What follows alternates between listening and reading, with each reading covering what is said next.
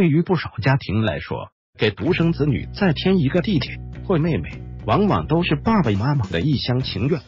他们可能从不考虑独生子女的感受。这不，美国一个小女孩在第一次看到爸爸妈妈给自己添了一个小弟弟后，那一脸的愁云说明了一切。据英国《每日邮报》一月十日报道，近日一段有关一位女童首次看到新生弟弟的视频在网上被大量转发。视频中，一位名叫艾拉的女童坐在沙发上，妈妈将刚从医院接回家的儿子放进女儿的胳膊窝里。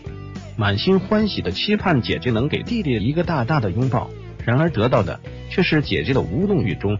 妈妈轻声的不断提醒：“这是弟弟。”亲他一下，艾拉似乎明白了什么，紧缩眉头，满脸愁云，偶尔斜睨了两眼弟弟，随后又将目光对着爸爸的镜头，眼里多了些怨气满满的潜台词，似乎在说：“好靓鬼来和我多爱的我，该咋办？”艾拉的爸爸乔丹·杰里迈亚斯。